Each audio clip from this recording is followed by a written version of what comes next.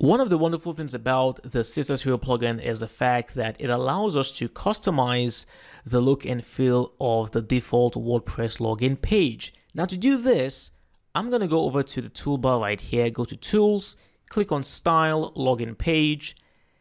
And the truth is, even though I love WordPress, the default login page is quite boring. I mean, look at this. All you have here is a boring background color, the WordPress logo, and then the fields for the username and password. And this is not very, very attractive. So thankfully with CSS Hero, we can make this a bit more appealing. And this becomes very, very useful if maybe you have a membership website or any other kind of website where users have to log in before they can view content. So rather than them seeing this kind of page, uh, you can make it more attractive. So what exactly can we do here? Well, I can click anywhere in the background go over here to the background property and I can change the background color to something different if I wanted to, or preferably I could go to image. So I'm going to click on image right here and then I could either use an image from my media library, my computer, or I could go with images provided by Unsplash. I'm going to use one provided by Unsplash and where I have the option to search for images, I'm going to type in uh, HTML just to get an image with some code in it. So here is the image right here, which I'm going to use. I'll click on it, come down here to apply image, and then choose medium. And just like that, we now have the background image. One thing I should point out though is that if you're going to use a background image, make sure it's big enough. And then when you have background size, go with the cover option, which is the second one right here.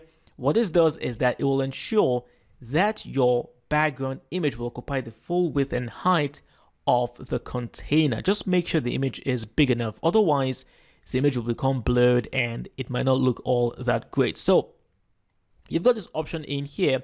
You could also choose to change the WordPress logo. Just click on the logo, come over here, and then you can choose a different kind of image uh, if you wanted to. Maybe you could use the logo of your website or something like that.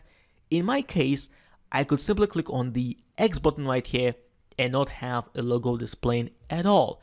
You do have other options as well, which I'm going to show you. Let's say, for example, with the box, you can click on the box right here. You could also change uh, the background color to something else. So maybe something reddish if you wanted to, you could do that one. Or you could even go to your properties and then where you have extra, click in there and then you could make this art more transparent if you wanted to. Just make sure that it makes sense and that it blends in well with whatever background you are using. But you can see you do have uh, that option.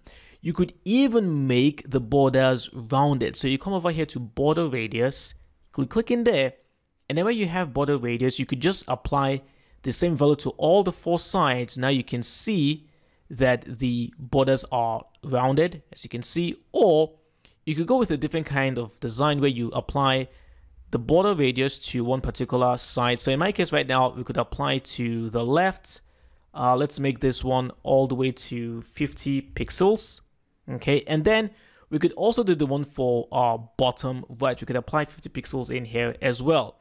So now you have this kind of design. So honestly, you have a lot of different options available for you for designing the look and feel of your login page.